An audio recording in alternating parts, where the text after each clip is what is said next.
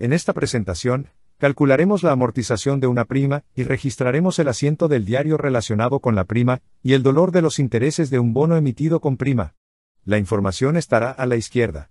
Vamos a anotar eso en nuestro diario general, y luego lo publicaremos en nuestra hoja de trabajo.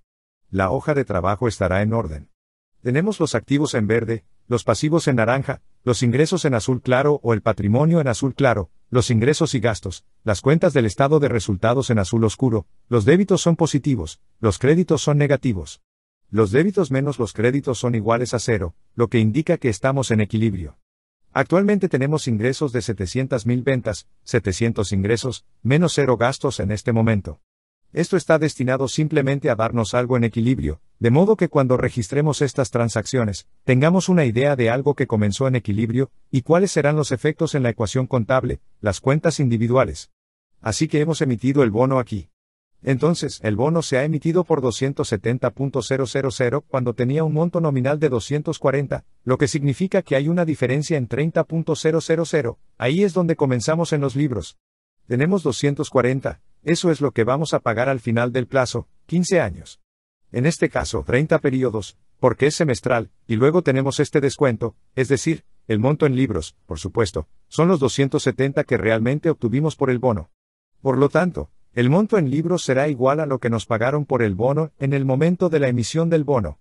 Así que ahora lo que tenemos que hacer es registrar los intereses y la amortización. Ahí van a haber dos cosas con las que lidiar. Una es cuánto pagamos en intereses, algo así como el alquiler, al igual que en el préstamo, el alquiler en el uso del dinero, y la otra es deshacerse de esta prima amortizada sobre esta prima. Y lo que vamos a hacer es reducir la prima y registrar la diferencia con el gasto en intereses de los bonos. ¿Por qué? Porque esta prima es realmente el resultado de los intereses. Realmente es el resultado de la diferencia entre la tasa de mercado y la tasa de los bonos, o esa va a ser la diferencia supuesta, o la razón por la que este es el caso, la razón de la prima, y por lo tanto vamos a reducirla al gasto por intereses a medida que avanzamos, a medida que hacemos los pagos. Así que lo haremos con una amortización en línea recta. Este va a ser un método de amortización simplificado.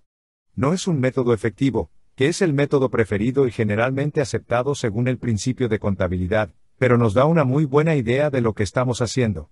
Se alinea bien con la forma en que hemos visto comenzar la amortización, incluso similar a un problema de depreciación, y se puede usar si la diferencia entre el interés en el método efectivo y el método de línea recta es pequeña o está en material.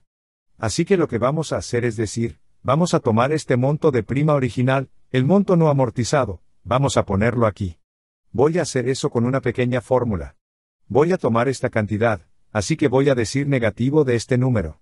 Ahora, no tomes el número final, o puedes tener un problema una vez que hagamos las entradas del diario, así que el número inicial, o simplemente escribes el 30.000, y luego la cantidad en libros va a ser estos dos agregaron el 272.40 más 30. Ahora voy a hacer eso con una pequeña fórmula de nuevo, que puede ser un poco confusa, pero va a ser negativa, o podríamos decir suma negativa, lo que significa que voy a sumar estos dos números y luego voltear el signo, así que ahí está el 270 que puedes escribir 270 en este.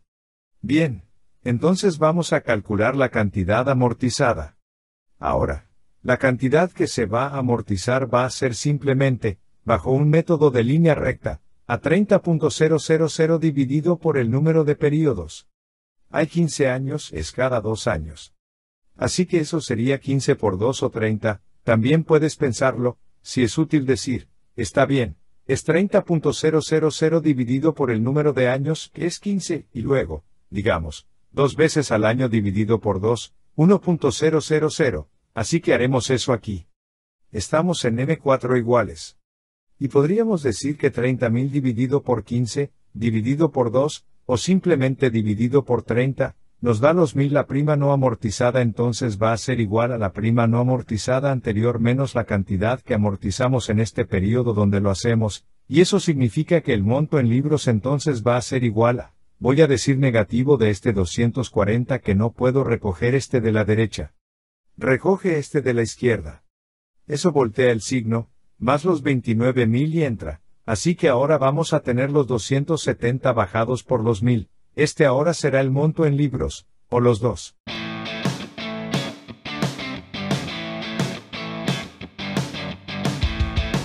Ahora voy a hacer eso con una pequeña fórmula de nuevo, que puede ser un poco confusa, pero va a ser negativa, o podríamos decir suma negativa, lo que significa que voy a sumar estos dos números y luego voltear el signo, así que ahí está el 270 que puedes escribir 270 en este.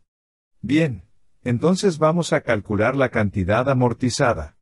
Ahora, la cantidad que se va a amortizar va a ser simplemente, bajo un método de línea recta, a 30.000 dividido por el número de periodos. Hay 15 años, es cada dos años.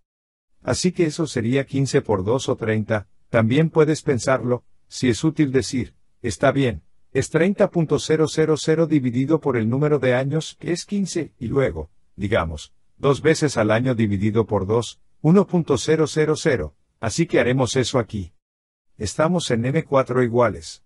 Y podríamos decir que 30.000 dividido por 15, dividido por 2, o simplemente dividido por 30, nos da los 1000 la prima no amortizada entonces va a ser igual a la prima no amortizada anterior menos la cantidad que amortizamos en este periodo donde lo hacemos, y eso significa que el monto en libros entonces va a ser igual a, voy a decir negativo de este 240 que no puedo recoger este de la derecha. Recoge este de la izquierda. Eso voltea el signo, más los 29.000 y entra. Así que ahora vamos a tener los 270 bajados por los 1000. Este ahora será el monto en libros, o los dos.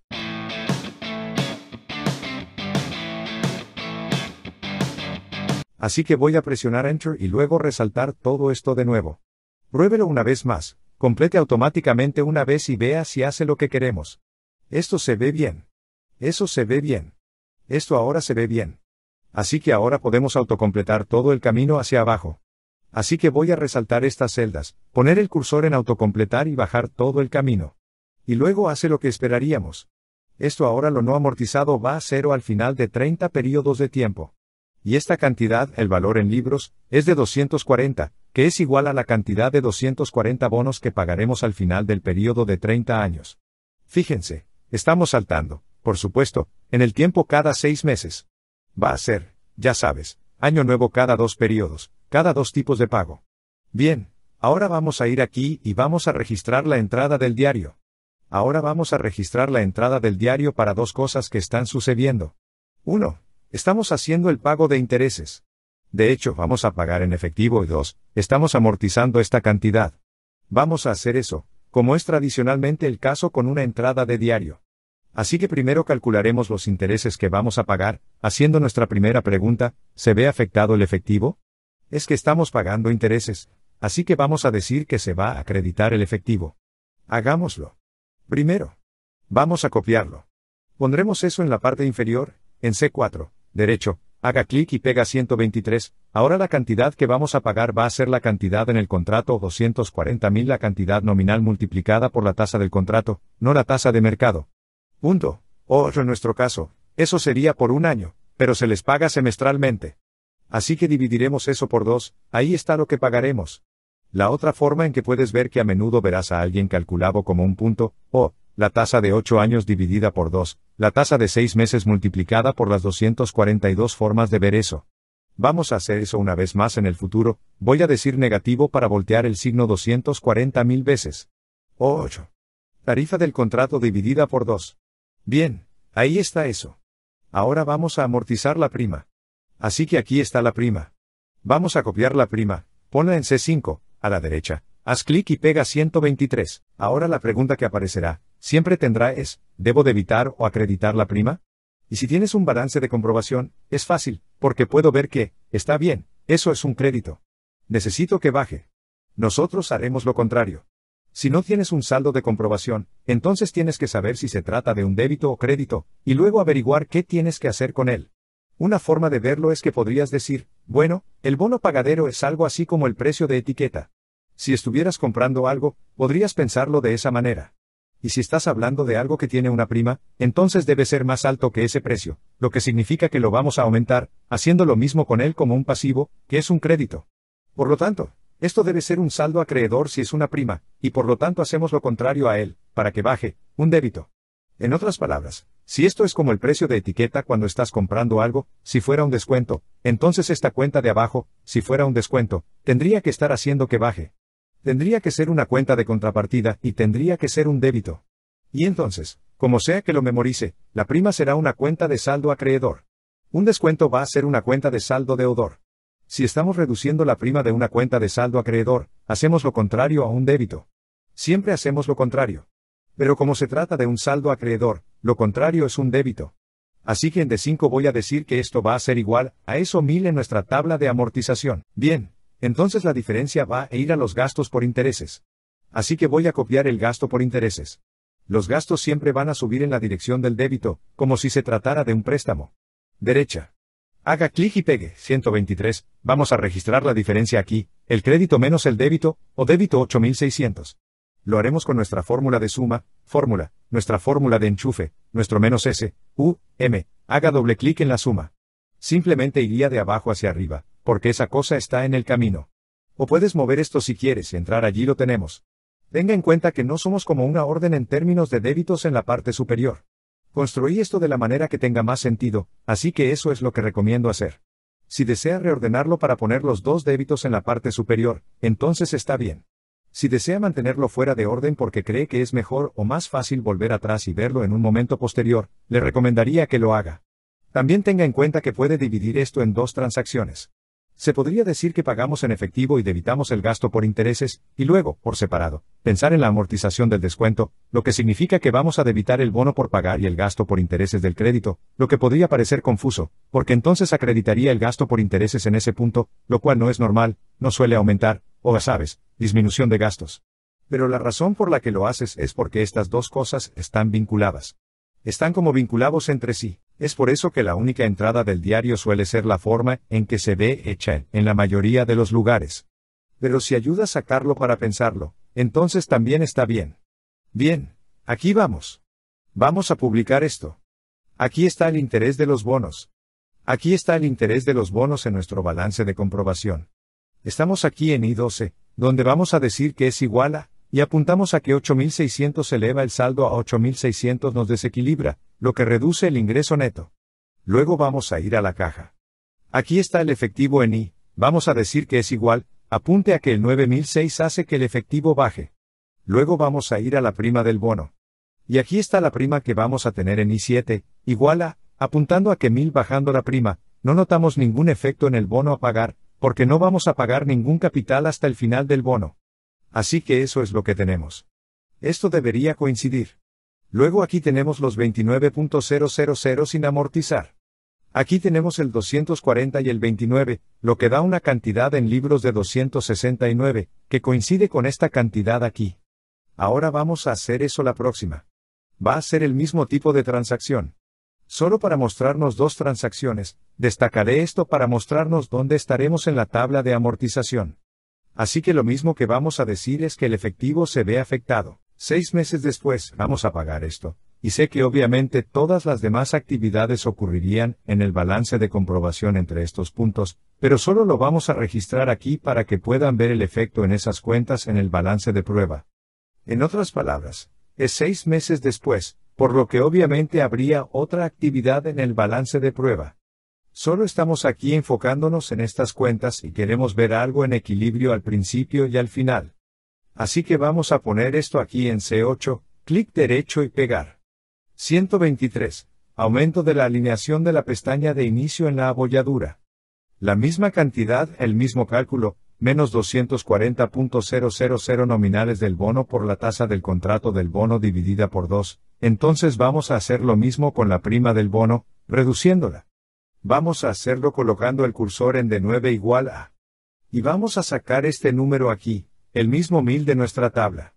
Bueno, no es lo mismo 1000 pero todos son 1000 porque es un método en línea recta. Y luego vamos a decir que el interés volverá a estar en lo más alto. Así que la misma transacción. Vamos a usar nuestra suma negativa igual, o suma negativa, y luego vamos a ir de abajo hacia arriba, o puedes mover esto fuera del camino y entrar ahora vamos a registrar esto. Aquí está el interés de los bonos. Aquí está el interés de los bonos. Aquí estamos en la columna del medio. Vamos a hacer doble clic, ir hasta el final, más señalar ese 8600 que hace que el rebote suba, nos desequilibre, que baje los ingresos netos. Luego pasaremos al efectivo. Aquí hay dinero en efectivo. Aquí hay dinero en efectivo. El balance de comprobación. Estamos en I3. Doble clic. Ir hasta el final de la misma, más señalar a ese 9006 que lo derriba. Y luego aquí está el bono, la prima del bono. Esta es la prima del bono. Haga doble clic en I7, vaya hasta el final más el punto hasta ese 1000 que lo derriba. Así que como pueden ver, vamos a traer el monto de acarreo, o la cantidad no amortizada, 28 fósforos aquí. Y luego, si destacamos esos dos, el valor en libros, 268, coincidencias. 268, aquí. Y eso, por supuesto, será el caso a medida que vayamos bajando, esto luego bajará a cero al final de 30 periodos de tiempo, dejándonos con 240 que luego pagaremos al final de los plazos de los bonos. Así que tenga en cuenta que el bono a pagar, el monto principal, no va a ir ya que pagamos intereses. Solo estamos pagando el alquiler por el dinero y reduciendo la prima. Así que,